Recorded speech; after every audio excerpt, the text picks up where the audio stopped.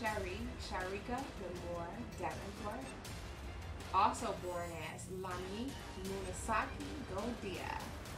I was born and raised in Cleveland, Ohio, birthday November 29, Sagittarius.